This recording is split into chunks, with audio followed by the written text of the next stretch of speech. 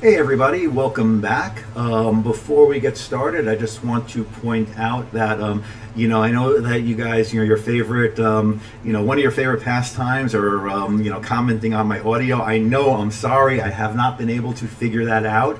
Um, you know, somebody wants to donate a really nice audio setup for me and send it on over, I would be happy to take it. You know, set me up with a nice studio, whatever. Um, but seriously, no, I, I really don't mind if you're saying that the video isn't great um, but I am working on it. So um, I'm not ignoring it. Um, as of now, all of my other input and output sources are off, other than the the video I'm the audio I'm capturing from. I have checked that.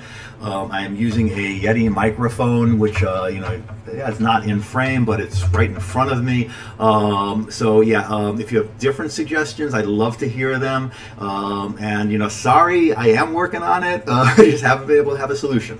Um, so what I wanted to talk about today is I wanted to talk about um, my agenda. And I've talked a little bit about agendas before um, when I talked about capturing and when I've talked about uh, my day to day. And I can just bring up my agenda really easily here, Control C, A, C, uh, for my custom agenda view.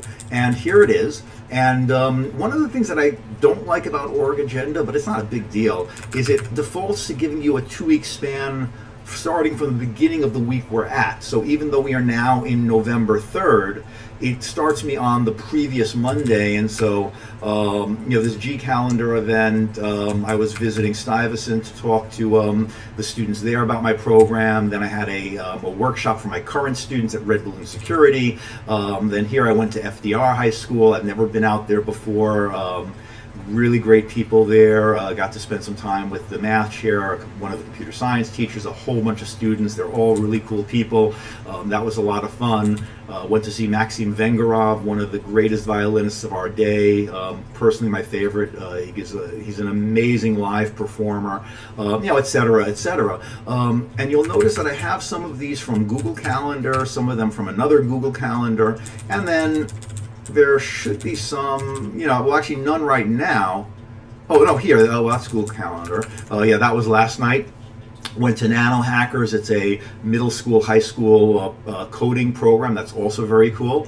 Um, yeah, but these are just things that are in agenda, and um, this one is going a little bit forward. Actually, let me see this. Oh, let me view two weeks. And so we see here I have to do somebody's recommendation uh, on Sunday, and it's just from my org mode stuff. Uh, you know, here's another one just from org mode. So basically, um, I've got these two calendar things going on, and I like Google Calendar the, just because I can access it easily from my phone. It integrates with that, and I'm not super fond of the org syncing tools that are out there right now.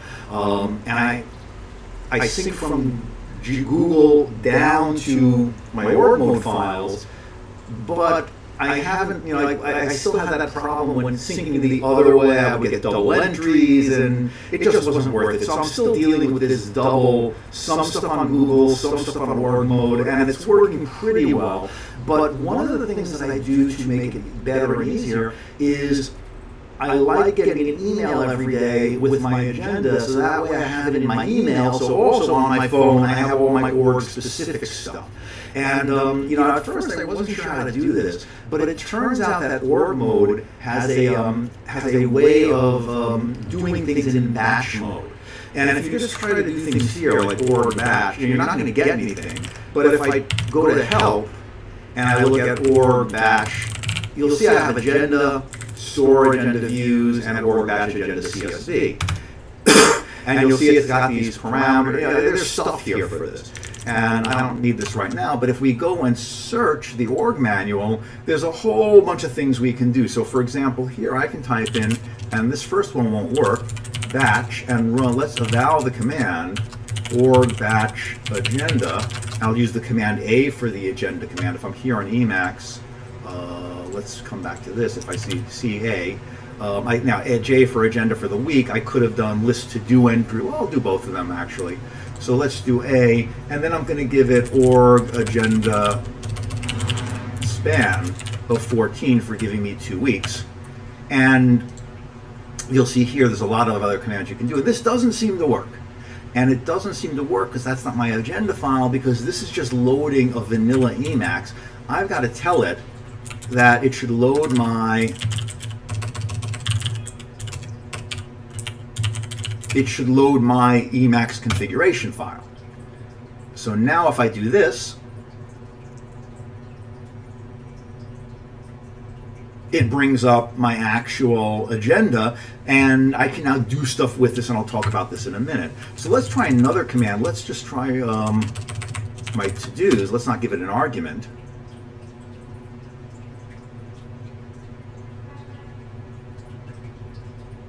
And those are my to-dos.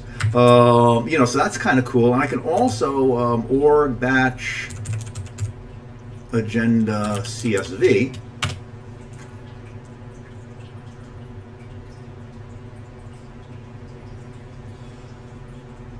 and that gives it to me as a CSV file. So again, now I can use it as a CSV, and I can just redirect my standard error. That's what this two greater than is. And that's going to get rid of all the Emacsy, you know, messages as it's going, and I just get my org agenda here. So, uh, so this is a really cool tool. So if I can set up my machine to send emails, I can pull out my stuff from my org files, and then I can go to town with this. So the next thing that in my configuration, um, I use multiple machines. So I've got my desktop at work, my desktop at home, and my two laptops, work laptop, personal laptop. And um, I like having them all synced up. Um, and I also, you know, I, I, could just use Dropbox between them, um, but I also kind of like the idea of having, when I do this org agenda, I like having one machine that I know will always be on and on the internet, and I can't use my work machine for that because of the firewall and getting in and out of that, um, and my home machine is usually on but not always on. Um, so what I did is I set up a DigitalOcean box, a DigitalOcean droplet, and it's really easy to do. You just log in, you create a droplet, um, you follow the instructions, etc. And um, I already did this but if you want me to do a walkthrough of creating a DigitalOcean droplet, just please let me know in the comments. And if enough of you want me to do that, um, I am more than happy to. Um, and I used to set this up with Dropbox. And Dropbox, if you search for Dropbox Headless, um, down here, you can install Headless on a remote server. You just can go to the DigitalOcean box and follow the instructions here. Um, and that'll let you set up Dropbox without the graphical interface really easily. Now, I'm moving away from Dropbox to something called SyncThing, um, which you know you can fork this on GitHub. It's open source. Uh, you can. Um, I haven't played with this here. It says that SyncThing is also available on, on uh, you know an Android, um, but haven't played with that yet. But essentially, it's letting me set up my own Dropboxy type things amongst all my machines, and I also like doing that over here on DigitalOcean. So I set up this box synczemansky.net, um, which um, which this way I have a central box that's always on. So I'm going to connect to that. Uh, and you'll see that I've got my org files here. It's all synced up. Everything is syncing. Um, and I've got basic Emacs on this. So I can actually run Emacs dash batch dash L emacs uh, dot d slash init init.el and then eval org batch agenda a org agenda span 14 and uh, close my quotes. And I've got something here. Oh I don't have my L file because if I um I haven't set this up so let me set that up. So let me emacs And what I'm going to do is the only thing I really need here is I've got to say where my agenda files are. Uh, right. So I'm just gonna, I'm not gonna make that pretty now. Um, so bang, really quickly I get my agenda. And um, again, I can,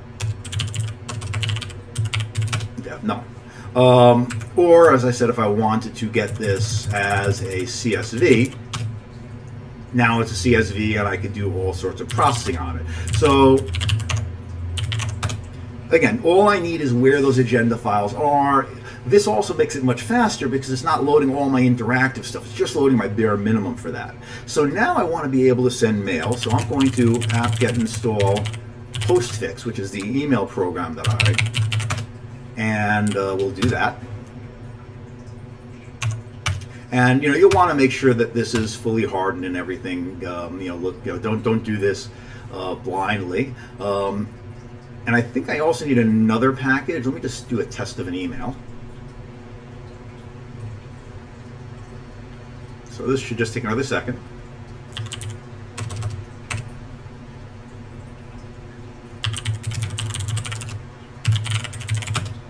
Uh,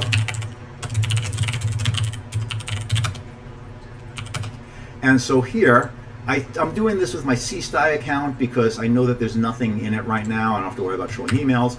But now if I do a little test mail, so if I say mail Zamansky at cstuy.org, uh, test, well, I didn't want to, yeah, no CC, test, test mail, cstuy.org. Let's come over here.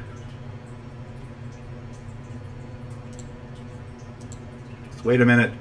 Uh, this might go into spam, uh, so let's keep an eye on that. Yeah, so this went in from spam. Uh, let's, this is not spam. Does that move it over to the inbox yet?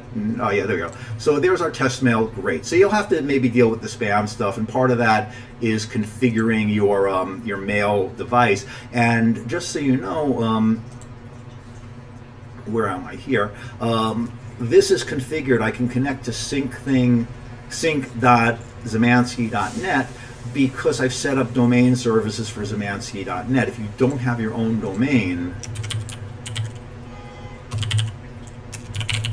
there's this uh, there's this website freedns.afraid.org, and you can create an account on this for free, and then you can um, register a subdomain. And I'm going to log in here. I've already you know created my account on this a while ago, um, and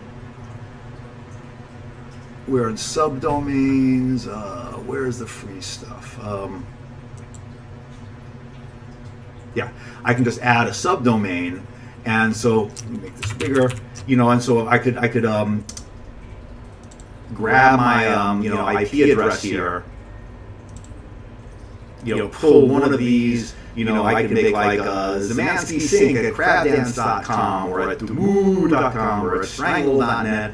And this would give you a domain name, so that way your machine has a resolvable name, and that will help with any spam problem. Um, you know, if you don't register your name. But anyway, so we're almost done with this. So what we can do now is we can run our command. So it's just going to be, but instead of, uh, we're going to pipe this through mail, and we're going to give it a subject of Mike's agenda for, and then I'm going to give it a date command uh, and this should, I hope, work with the um, with the quoting. And I, have this off screen when I'm copying. Well, I'll just, I'm just going to copy this over.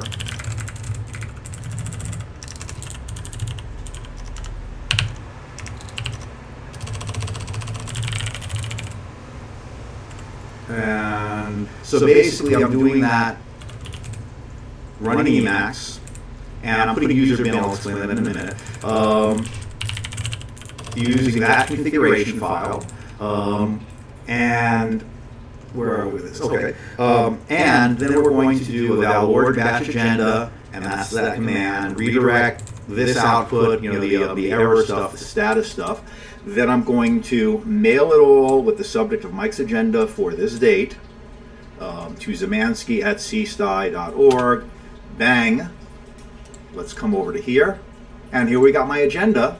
And yeah, that's the entire two week agenda, exactly what I was looking for, which is a really, really, really cool thing. And again, if I if I want this as CSV, I could put this into a CSV file, uh, or I could do the CSV thing, and now I can I can write a little script to uh, to massage it or whatever.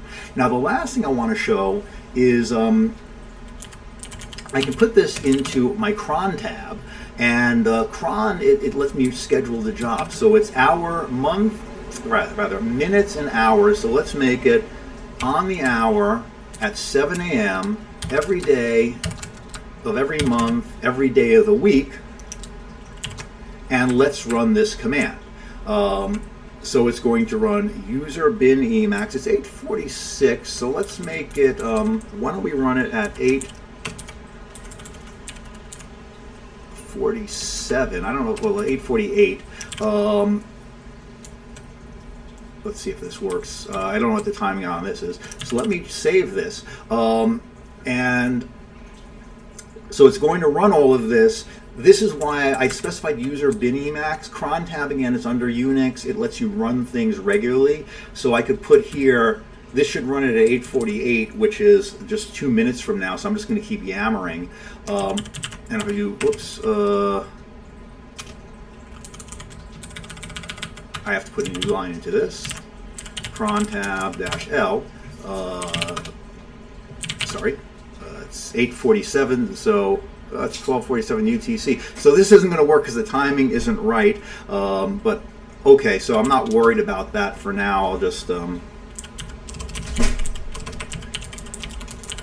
edit my cron tab. We're just going to make it five minutes um, after 7 a.m. I'm not going to worry about that for now. I'll fix the other thing.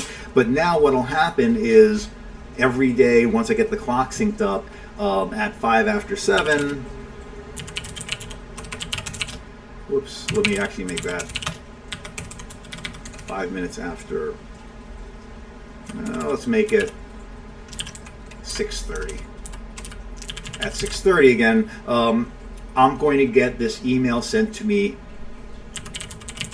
And actually, for the real one, I do want it to go to gmail.com, which I have here, not um, you know not my CSTUY account. So anyway, that's setting up um, using an email, you know, using the org batch to, to get out your agenda and send it via email. It's very, very cool. Um, if you want me to go over the DigitalOcean or the Syncthings stuff, I'm happy to do that. Um, and I'm just going to check the date stuff on this um, uh, now so you guys don't have to watch me while I fiddle that. So I hope that you enjoy this. All right, so that's it.